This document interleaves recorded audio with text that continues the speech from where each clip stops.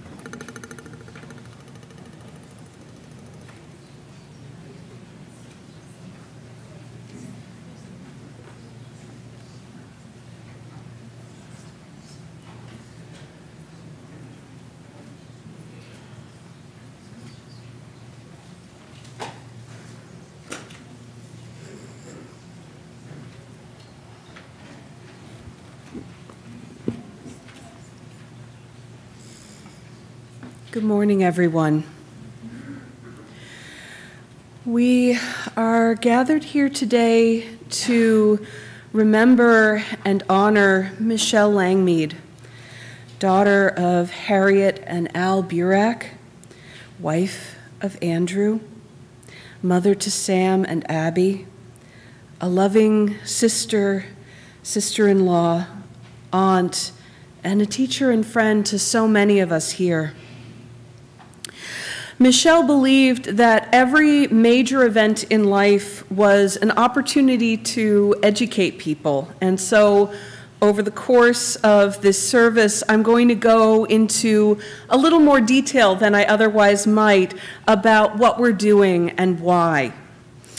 Um, so, just for starters, uh, it's traditional for Jews to be buried in a plain wooden coffin, and this is for a couple of reasons. One is that in the Talmud, uh, we're told that death should make everyone equal. Um, and so, if everyone is in the same plain wooden coffin, um, there is no distinction between rich and poor. When someone leaves us, it's a heartbreak, no matter what. And the other reason is that um, uh, when the first human was formed, uh, Adam uh, was made out of the Adamah, out of the earth. And therefore, we go back into the earth when, um, when we die, when we are done with our time on earth. And so, a plain wooden coffin allows our bodies to return to the earth more naturally and continue the circle of life. Um, and coffins are closed at a Jewish funeral usually because um, this is a point at which the person is vulnerable and can't look back at us when we look at them. And so we give them a measure of privacy, even as we gather together to say goodbye and talk about who Michelle was to us and, and how much we're all going to miss her. So we'll begin with um, uh, Psalm 23, which is uh, in the leaflets that were handed out. Um, and this is a psalm that's traditionally said at funerals as, um, as a way to reassure us that, uh, that even though things are um, in turmoil right now, that they will not always feel this way, and that um, our Creator has us in their hands. The Lord is my shepherd, I shall not want. He maketh me to lie down in green pastures. He leadeth me beside still waters. He restoreth my soul. He leadeth me in the path of the righteousness for his name's sake. Yea, though I walk through the valley of the shadow of death, I will fear no evil, for thou art with me. Thy rod and thy staff, they comfort me. Thou preparest a table before me in the presence of mine enemies. Thou anointest my head with oil, my cup runneth over. Surely goodness and mercy shall follow me all the days of my life, and I will dwell in the house of the Lord forever. So we will first have some words from different members of Michelle's family, um, and then I will offer a few words and then I will call up um, Rabbi Josh Schreiber to offer the prayer for the dead, the El Male Rachamim. Um, and then we will offer words of comfort to those who are grieving. So I'm going to first ask Michelle's husband, Andrew, to come and speak.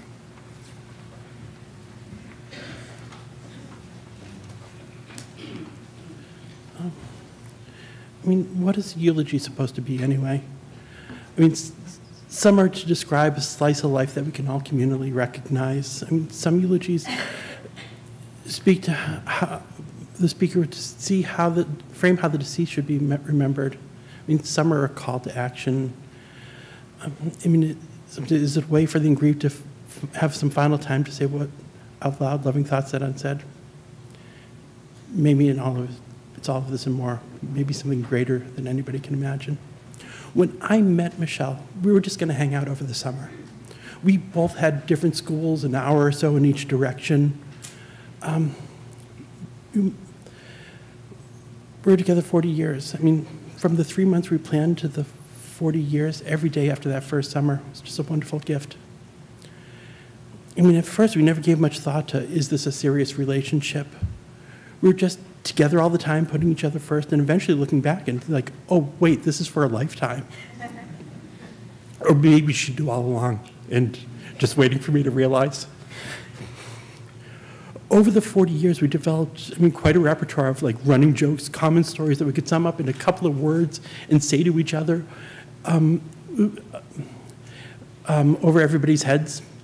Um, catchphrases that one of us would say and the other one had an expected response to it. And no one is going to be here to catch those remarks now. I'm going to say something and know what Michelle's response should be, but it's just going to hang there unsaid. But some of my children, I got to understand, I mean, they grew up hearing them as normal goings on in our household, and we'll spend a lifetime trying to untangle what's normal social common interactions and what are these weird quirks that their parents had. um, you know, I mean, do normal households, I mean, do double-blind taste tests of bottled water? I mean, do they cut, cake, cut, cut cupcakes into quarters so that you can all taste the same flavor and compare them? I mean, sometimes I text my kids late at night and say, oh, wait, no one else calls it shaky cheese. If you ask for that, no one's going to know what you're talking about. um, Michelle was at the synagogue all her life. I mean, she was at one point the young children who were running the hallways and screaming um, until shushed, told to shush and slow down. She was once the teens trying to find a quiet corner who were both annoyed at the loud children and the scolding adults. Um, she was the college kid being, you know, home for the holidays and being dragged into high holiday services by her parents. She was um, the young parents bring, you know, looking for a place to give their child a strong Jewish identity outside of the home. Um, she was, you know, one of the people sitting in a congregational meeting um, thinking to someone, shut up, you've made your point five minutes ago. you know, and she was a quiet empty, empty nester, you know, sitting at, at Kiddush after services, you know, politely chatting with people. And now here she is, the casket in front of us. Um, Michelle often wanted to teach and reuse examples in her life when her, you know, um, when the kids were being born, I mean, she'd be teaching about baby naming. When the kids were being bar mitzvah age, she'd use what was going in our household as an, incorporate that into her lessons. Um, and even in death, she wanted the rabbi to somehow have her death be a learning experience. When we bought our house a couple of decades ago, we never considered the mobility issues of needing to climb half a flight of stairs to get in and out of a split ranch. Michelle, I mean, eventually expected to retire to Florida, which was kind of a surprise to me. I mean, at one point we started talking about when we'd have marriage, when we'd have kids, and there were then assumptions we eventually had of where we'd go after that. Um, she expected to move to Florida as she'd seen her grandparents and great uncles and older cousins do, and I just expected to stay in New England for the rest of my life. And unfortunately, Michelle never got her home in Celebration, Florida. The end kept speeding up. I mean, each, each time we planned for a time frame and figured out how we could deal with it, that time frame shrunk. Um, we'd plan on how to handle the remaining years. And then the doctor would say he wasn't sure she'd be mobile enough for a vacation at the end of August. Would buy dresses for graduation, then be not sure how we could get her there. And would put chairlifts to accommodate the stairs, and then she'd only use them twice. One time to go from the hospital um, to her home last time, and one time to leave from the home to her last day at the hospital. Um, by the time the synagogue started to work out how to transition school for next year, we're starting to miss days this year. Um, family vacations then turned to figure out what we could do with the spring, which then turned to uh, get here as quick as you can. Michelle was uncomfortable with people who had a very firm, concrete ideas of life after death, especially when that imagery depicted, I mean, like continuing kind of like this one, but like clouds at your feet. Um, Well, I'd say that, I mean, there's only, there's no way that we can know for sure, and the only thing we can do is have impacts on people's lives, and that is some metaphorical life after death. I mean, Michelle, on the other hand, would counter that. I mean, there might be something, I mean, I mean, some energy or essence that has to go somewhere. I mean, existence is something larger than what we can comprehend, and maybe all these interpretations form some form of the truth. Um, I mean, there'll be a few people talking. Um, I mean, the image that may, they make of Michelle will all be will all be a form of the truth, but they'll all be different. I mean, who she was in life was far greater than any one person is going to be able to express, and any one person's interpretation. I mean, greater than anybody can imagine.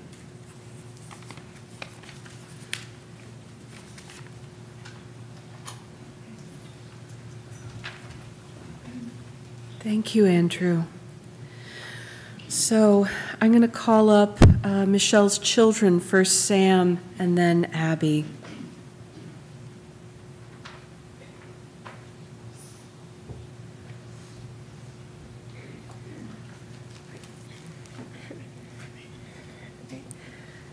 I want to start by saying that I've written and rewritten this multiple times over the past couple of days. To be honest, I- I'll be honest, I had an idea of how this was going to work. A lot of times when I'm submitting some kind of writing, when it's something I've never done before, I would send it to my mom to have her look it over, give notes, and then I would send it in. A lot of times when I was doing anything I've never done before, I would ask my mom, even if it was something that I could eventually figure out myself. Sometimes I would get a you can figure it out response, either because she was busy or because she truly believed in my own capabilities. But other times she would completely walk me through it, back to the basics so I could be prepared. And I would remind myself that I'm actually not the first person who in the world who is going through this life. So here's how it would go. I would have this idea, I had this idea that she would want me to read her what I would say in the eulogy. I would say, well, how would you know that I was even going to follow through with saying that? I could completely change it without you knowing, uh, but I wouldn't. I wouldn't know how to rewrite it.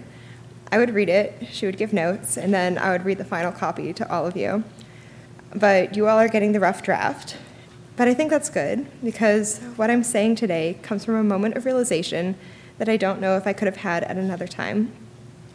As the daughter of a chronically ill mother who ended so many conversations with, well, you know, Sam, I'm not going to be here forever, and as someone with anxiety in general, I had this idea in my head that I could prepare myself for the moments that grief would hit, and that would somehow make it all easier. My therapist called that trying to take control of an uncontrollable situation, and that technically that's part of the, of the denial phase of grief. And I told her that if she's going to put it that way, then I take it all back. I know that she's my therapist, but I didn't mean to play right into all of that. And I don't think that that helped my case. Um, but anyway, I tried, and again tried, because we all know it's impossible, to prepare myself for the moments that grief would hit me. The big moments, knowing that there would be major life events that she would miss. The little things, like asking questions that I really could have Googled or asked anybody else, but was really using it as a conversation starter. The mundane things, like having to put my dad as my emergency contact on forms instead of my mom and the truly, truly unimportant things like having to sign up for a rewards program under my own phone number. but what I wasn't prepared for was having to tell people. When I had to text one of my closest friends, who my mom absolutely adored, and had to tell her that I didn't even get a chance to say, Do you want to come see her one last time? because everything happened too fast to ask her to come over. When the messages started flooding in from everybody telling stories about how much they loved my mom, I already knew this, but it solidified in my mind and heart how many people's lives she touched. And obviously, look around, we can see it in real time. While some parents may have been annoyed at being the house that people always came to, my mom welcomed it. Whether it was for just an afternoon, just one night, a weekend, a week, or longer, she wanted to be the place where people felt they could stay. She wanted our house to be a safe place for people if they needed somewhere to go. And because of that, my weekends in high school were full of sleepovers. Everyone in the high school drama department knew my mom from hosting cast parties. Really, in short, if you knew me, you knew my mom. And as I tell my friends in New York, you may not have met my mom in person, but you have met her through my passion for cooking, eh, and my passion for cooking for others, the way I try to build a community in the workplace, and my creative ways to solve any problems that come my way. In the past couple of days, Abby and I have asked people to share stories of my mom, and I've loved to see how many of my friends were impacted by her kindness. People who were in my life for years and knew my entire family, or for a short time and only met my mom through brief conversations. I think at the core of it all, while yes, she was Abby's and my mom, she was more than that. She became a maternal figure to anyone who needed one, or anyone who already had one and maybe just needed a little more. And because of her passing, we are all losing a bit of that.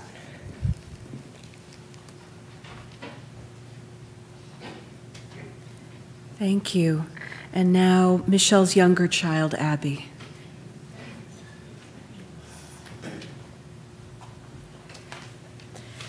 I think we'd be doing a huge disservice if we didn't talk about food uh, when talking about my mother, at least for a little bit. So that's what I'm going to be doing a bit here. So many of you have had meals made by my mother, and some of you, like me, were lucky enough to cook with her. Most of the time, when I would call her on the phone, I'd tell her what I was actively cooking or tell her what ingredients I have in my fridge and ask her what I should throw together. She always had an answer, even when she was hardly eating herself. Sometimes the answer was some recipe she used to make me when I was a kid when I'd completely forgotten about. Sometimes the answer was, you should come home and take whatever you want from the freezer. More often than not, when I told her what was in my fridge, she'd tell me, you need to go grocery shopping. So, on that point, I want to tell you this one stupid story about grocery shopping, but I promise I have a point. It just takes me a little second to get there. A few months ago, when she was in the hospital and I was living about an hour away in Brookline, I had got in my head that I was going to make risotto. I didn't have her massive red Le Creuset or any bottles of wine from my dad's collection, but I had a pan from Target, some homemade veggie stock that she had taught me how to make, and half an empty box of white wine, so I was determined to make do. I'd gotten all my ingredients except for the rice. I could only find long grain wherever I went, and I'd checked three different supermarkets. And as I was unpacking all my groceries, I called my mom and told her about my failed hunt. She reminds me that I'm looking for a arborio rice, and I said, I know, I can't find it anywhere. It's the one with the red top, the little cube container? I know, but none of the stores near me had it. Two days later, she texts me that I should check the lobby of my apartment for a package. I go down, find the package, call her as I'm bringing it up, and open it. She picks up the phone, and I take out a container of this rice with the red top, the same brand that she would always get, and proceed to start laughing and thanking her profusely. I made risotto that night, the first time that my mom, uh, my roommate had ever had it, and got to talking about my mom and the effort she put in after an offhand complaint on a phone call. And I think the reason why I'm thinking about that now is because that's the way that my mom showed her love. It wasn't always the type of love that I was able to understand, but it was love that I lived with and experienced every single day. She was listening to what I said, and when she had the opportunity to solve a problem, she did with no complaining or expectations of praise. I also think that this is the type of love that most of you have experienced from my mother firsthand over the years. It's the quiet type of love that shows up in unexpected places. It's the moments that make your day when you didn't even realize that your day needed to be made in the first place. Uh, it comes through gifts, through times, through affirmation, and more often than not, yes, through food. And I think that I'm just left with this profound gratitude that I'm not alone in this experience of how much love my mom gave to the people around her. I hope that when you all think about my mom, you think about the quiet ways that she was telling you how much she loved you. And think about how many people here are thinking about the very same things that she did for them and just the sheer amount of love that she had to give. Thank you.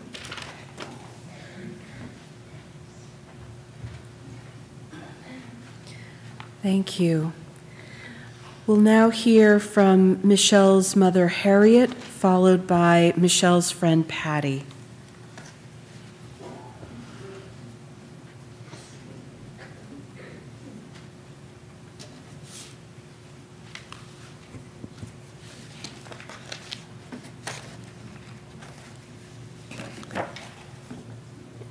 Before I share my remarks, I just want to explain to you about a couple of things. First of all, I have on two pins. One is a frog, and one is a cardinal. When Michael died, I decided that a frog was going to be my sign for Michael. Michael never stayed in one place very long, and frogs don't.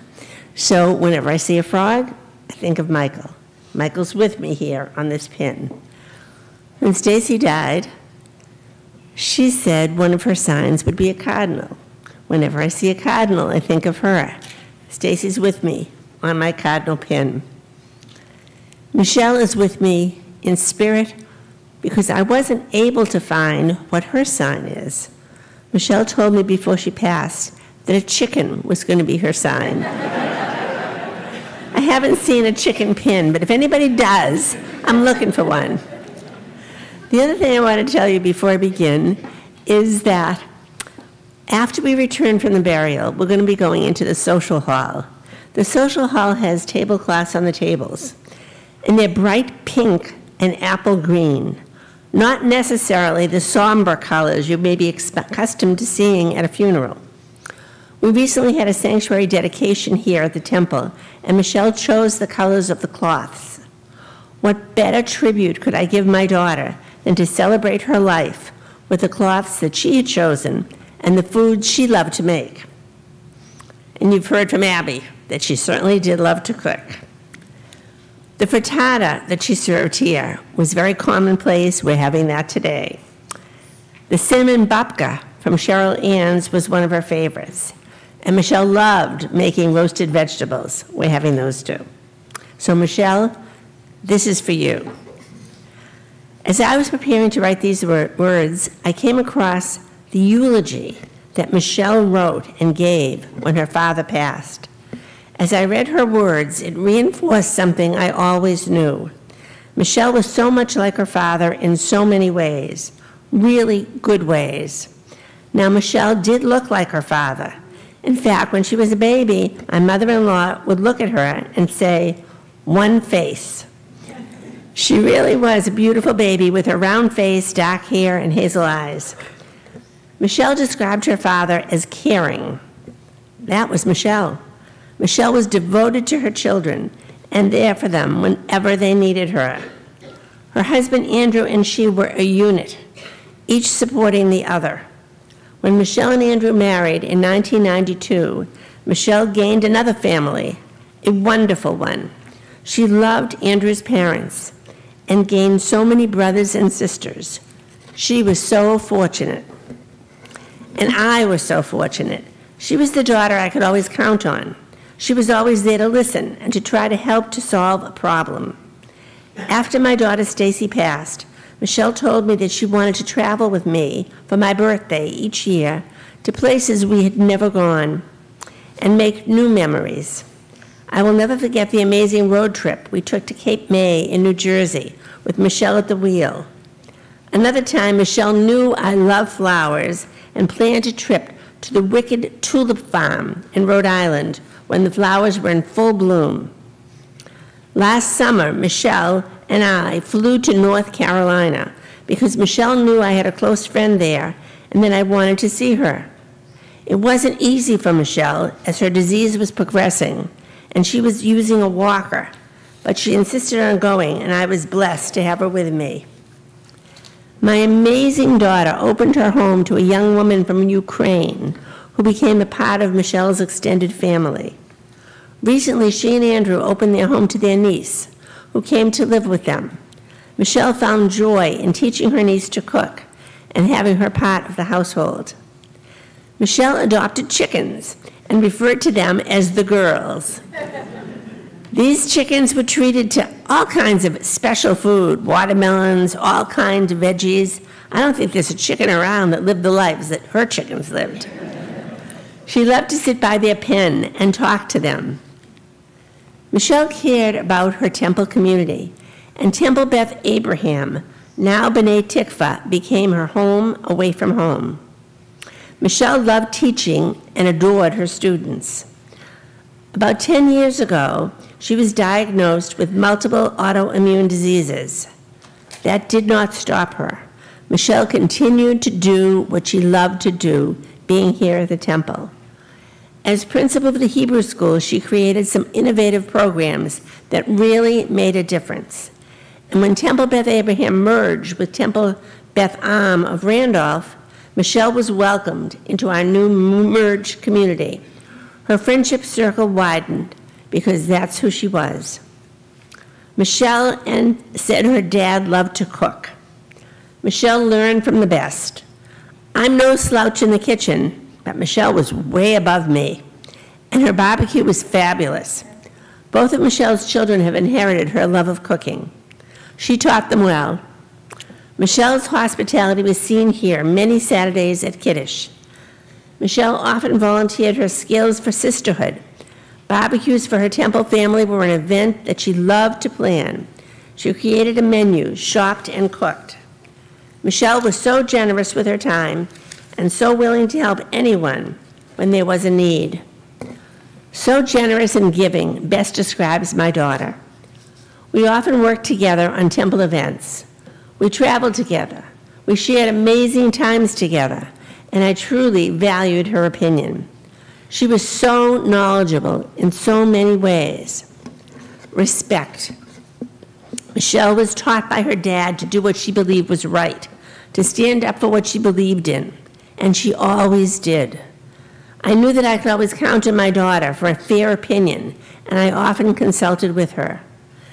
Michelle had an incredible relationship with her papa, my father, who lived to see her get married to Andrew. They would share ideas, thoughts, philosophies. Michelle always respected her papa so much. Michelle had the gift of gab. She could talk about anything with anyone, and she often did. On bus trips we took together, she made many new friends. Our trip to Cuba with Rabbi Nava Levine when we were Beth Abraham proved that point. Michelle learned so much about the Cuban culture by asking questions.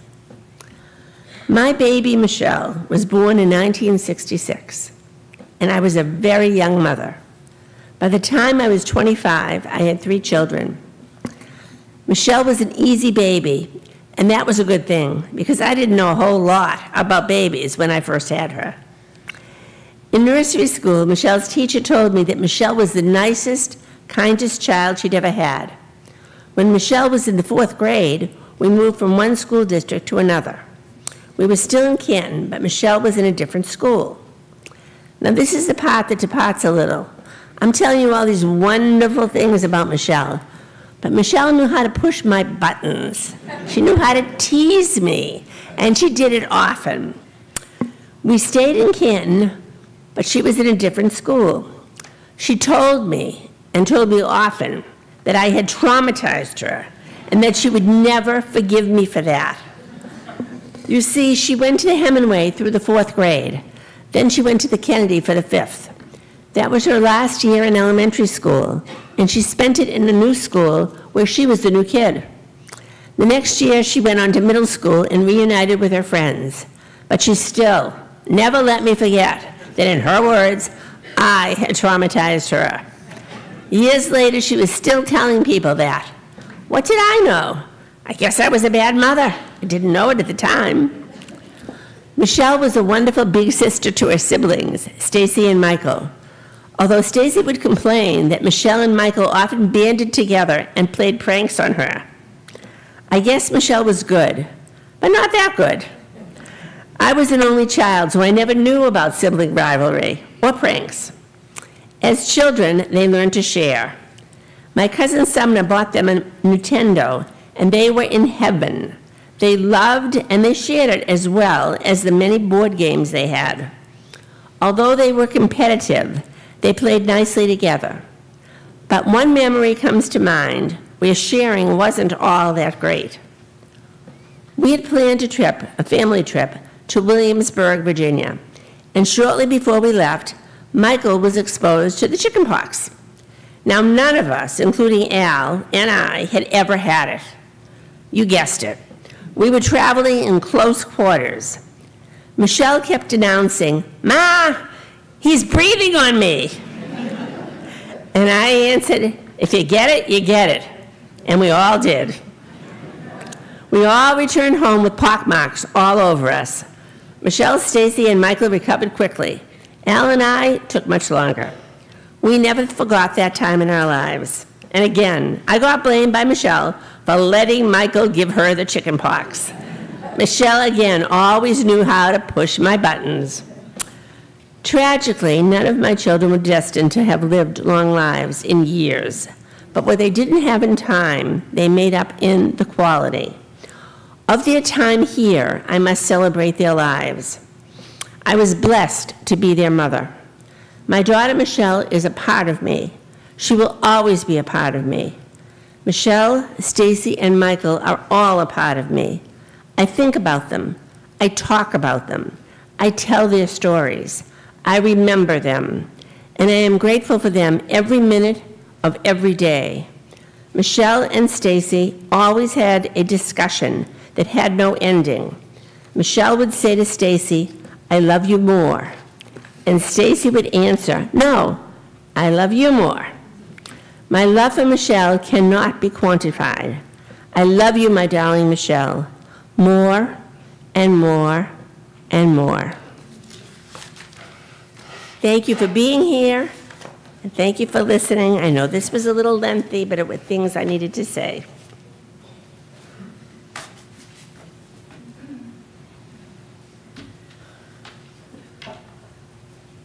We'll now hear from Michelle's friend Patty Caesar.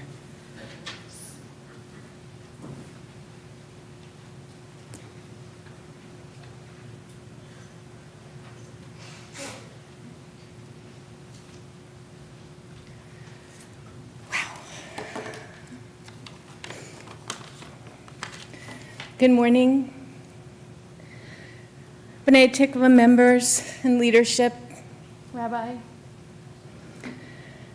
Michelle's colleagues, family, and friends, dearest Harriet, beautiful, talented Sam, brilliant Abby, and devoted Andrew. Oh, this is a sad day. It's for this place, it's sad for all our hearts, for my heart, because we're missing something. the loving, kind, talented, dedicated, energetic, generous, bright person. The person, the thread that connects us all together here at this moment. It's a sad day because Michelle's not here.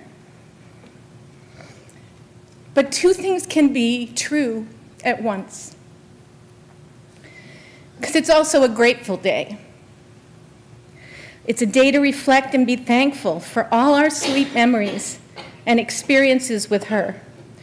Her achievements, her acts of kindness, the lessons she taught us, all of these created for us and with us by the only, one and only Michelle. I know we're all grateful for those things and more. I'm, th I'm thankful and honored for the opportunity to share with all of you a bit about my 20-year relationship with Michelle. We met when our children were in elementary school together. And since then, like all her friends, I've witnessed what she gave during her life to so many around her her extended family, her beloved husband, children, mother, father, sister, and brother, and to this, her cherished temple. If you needed a place to stay, her, her door was open. If you needed somebody to talk to, her heart was open. And if you needed to fill your belly, her kitchen was certainly open. She would often say to me when I called her and I was in the area, Are you hungry? Have you eaten? And if you happen to have a massive wasp's nest in your front bushes, like I did years ago, my kids will remember this, her resourcefulness and her bravery were open and ready.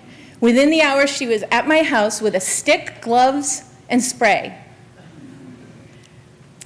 filled with energy. I would often say that Michelle did more by 10 a.m. than I did all day long. And while Michelle was an incredible wife and mother, daughter, daughter in law, aunt, cousin, teacher, colleague, temple, and community member, I'd like to share the kind of sister she was. And I think she would like that. Because Michelle was my sister. not by biology, but by choice. I would call her my Elsie. Elsie was my mom's best friend. They raised their kids together and went on all kinds of escapades and adventures together. And Michelle and I had a lot of adventures too. In New York City, she would tell me where to get the best cheesecake and the best deli. She loved that my favorite was Kishki because Al's favorite was Kishki, or one of his favorites. We'd enjoy musicals, theater, local farms, restaurants, bakeries, and no matter where we went, whether it was in town or even out of state, we ran into someone who knew Michelle. New Jersey or New York or Connecticut, we'd stop on the way to eat something and she'd be like, oh, there's so and so. And they're like, oh, it was amazing. Now, Michelle knew my mom, and when we told her that I called her my Elsie, she smiled and she said, how lucky we were. Lucky, I feel lucky to have had Michelle as my friend and chosen sister, and I was hers. So this is a sad day because she's not on this planet with us anymore. And it's a grateful day for all the wonderful gifts that Michelle shared with us. At this moment, Michelle, I am grateful that you are free from physical pain and you can rest in peace with your dad and your brother and your sister, all of their memories of blessing. Andrew, Sam, Abby, Harriet, thank you for the honor of letting me speak today. And Michelle, my sweet, sweet friend and sister, my memories with you will be a blessing for the rest of my life.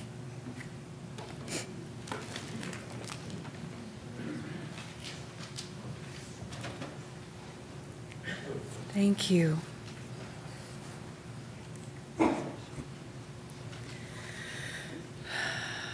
Janusz Korczak, a Jewish educator, once said, One who cares for days sows wheat. One who cares for years plants trees. One who cares for generations educates people. Michelle was a gifted and compassionate and passionate teacher. She grew up in the synagogue and began teaching here fresh out of college. I would say she was dedicated to te teaching children, but that's not quite accurate. She was dedicated to teaching each individual child. What knowledge did they already have? How did they learn best? How could she make them feel seen and safe so they would open up and flourish? She was ahead of her time. When she started, there really wasn't much public awareness of things like individualized learning plans or immersive sensory learning experiences, even in secular education. And those things were absolutely unheard of in a religious school setting. Michelle innovated our Door to Door program, generation to generation, pairing students with individual volunteers so each child could go at their own pace. She was always on the lookout for fun new activities and ways to get the kids excited about learning prayers, rituals, and stories. She talked to me more than once about wanting the kids to have a giant slumber party in the temple. Why? Because if they got to explore the building when no one else was here, they would feel this was their place. She wanted each of them to feel ownership of their Judaism. Her other passion, cooking, is something she got from both her parents, but especially, as Harriet said, from her father, Al. As Harriet has said, Michelle took after Al in any number of ways, one of them being that no matter where she was, she'd end up talking to people around her and making friends with them, even if she was just online somewhere, like the post office. When Al took over cooking in the temple, making Shabbos morning kiddishes, uh, making spaghetti dinners on bingo night, Michelle would be right there beside him in the kitchen, helping feed people.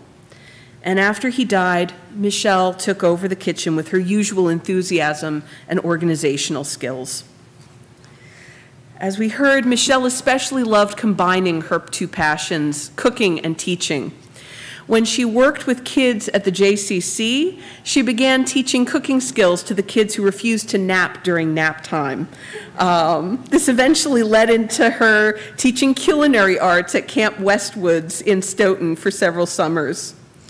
She taught people of all ages how to cook and bake, from elementary school kids to retirees, from her own children and their friends to virtual strangers, because she knew that making food is a way to care for ourselves and the people we love.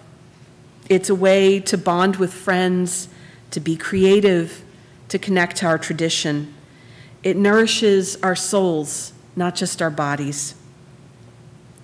She developed other passions as well over the years. She and Andrew joked that being empty nesters gave them the freedom to become more weird, to try new things. So she filled her empty nest with chickens named after Jewish feminists like Gloria Steinem and Bella Abzug. She discovered a love for musical theater and loved going to shows with her mom, with her kids, with friends and family. She traveled, went on adventures with the people she loved. When I asked Sam and Abby what Michelle was like as a mom, Sam talked about traveling to the Grand Canyon with her mom, a mother daughter trip that echoed one Michelle took with her own mother, Harriet, a few years before.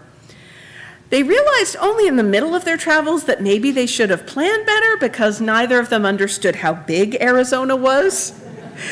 But even though Michelle was on oxygen by that point, she did what she could. They had a wonderful adventure.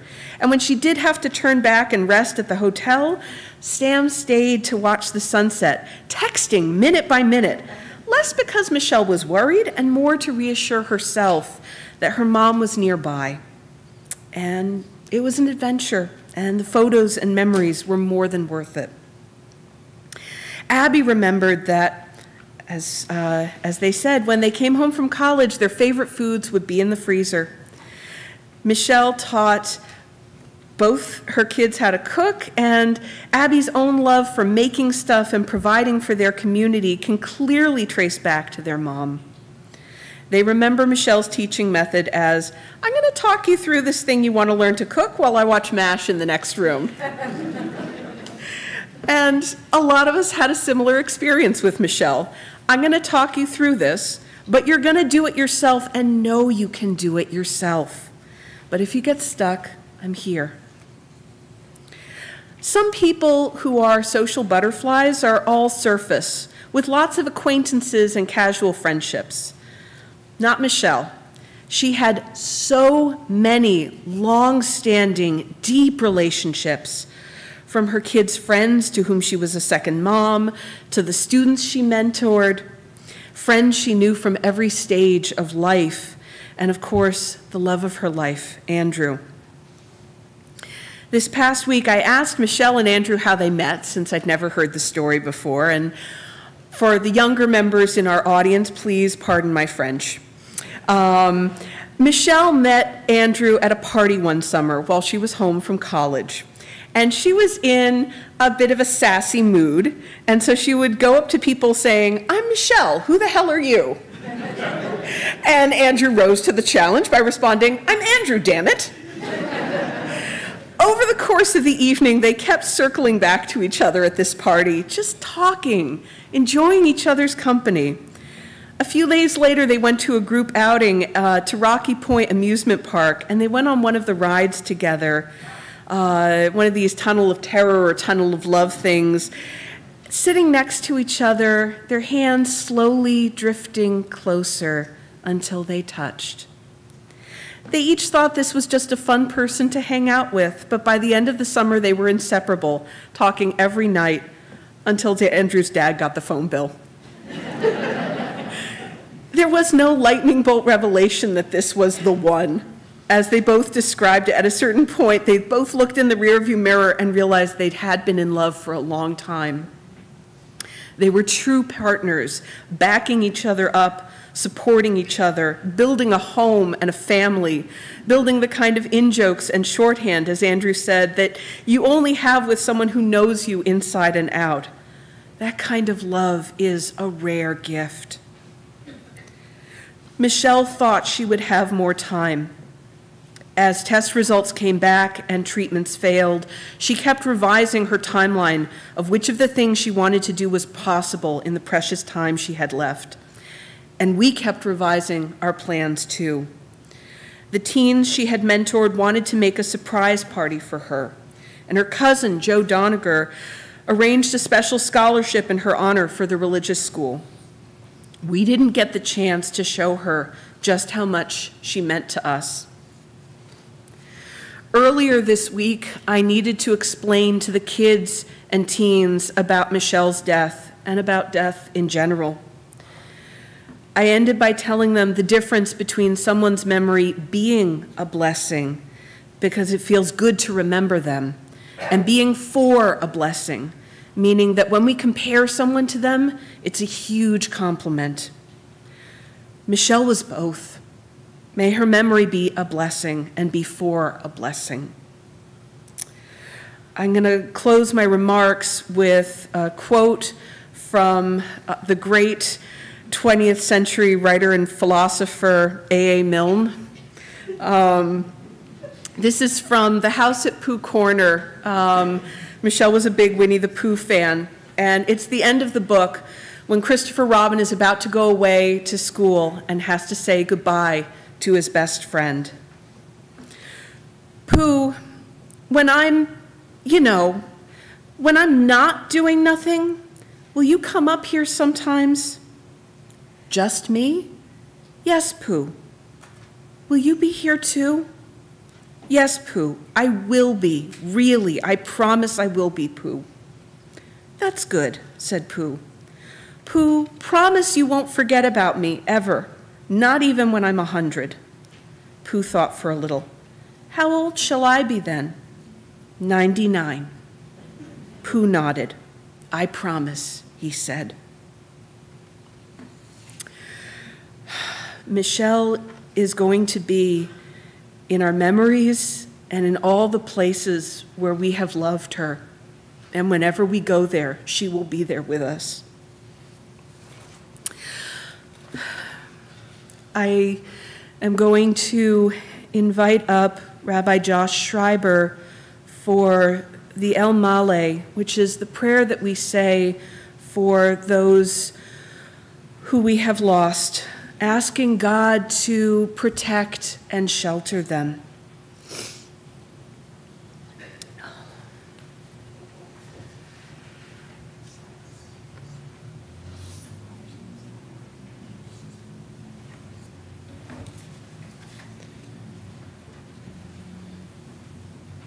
אל מלא רחמים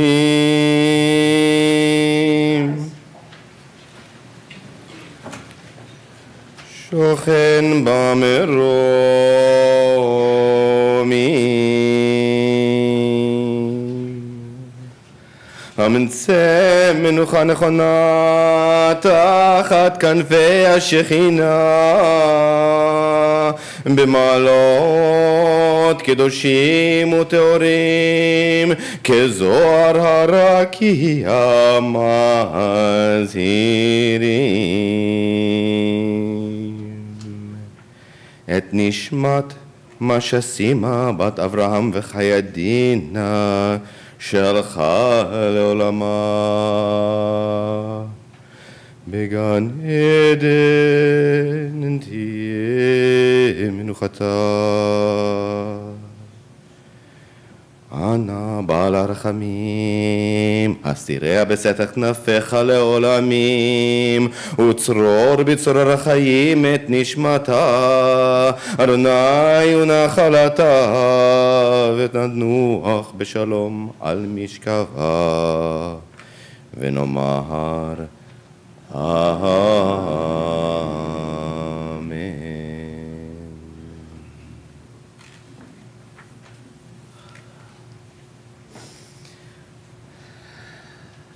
To take a moment just to translate that prayer for us. Exalted, compassionate God, grant infinite rest in your sheltering presence among the holy and the pure to the soul of Michelle, who has gone to her eternal home. Merciful One, we ask that our loved one find perfect peace in your eternal embrace. May her soul be bound up in the bond of life. May she rest in peace. And let us say, Amen. We'll remain standing as the pallbringer bearers bring the casket out. We'll remain in place as the family leaves, and it's customary to offer words of consolation to the family. The traditional phrase is Hamakom Hamakom yinachem etchem betoch shar avele Tzion v'Yerushalayim. In English, may God comfort you among the mourners of Zion and Jerusalem. It's a reminder that even in this painful moment, you are not alone in your grief. After the burial, which will be at Sharon Memorial, there will be a meal of consolation here at the temple, and Shiva will be at the Langmead home today and tomorrow, and at Harriet Burrick's home on Thursday, and the details are in your flyers. May you be comforted.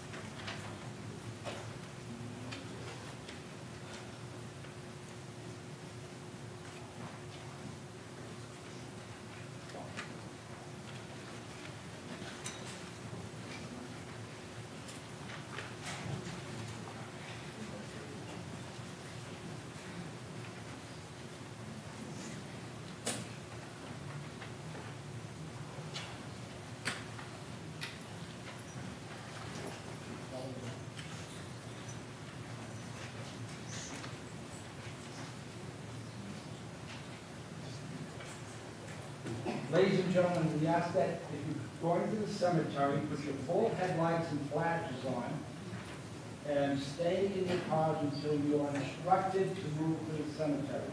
We have many cars to move around. So if you came into the back, I suggest you go out the back door, back to your car, so it's not going to the cemetery. But if you're going to the cemetery, please do not move your car. Get in your car, put your motors on, and wait for our instructions. Thank you.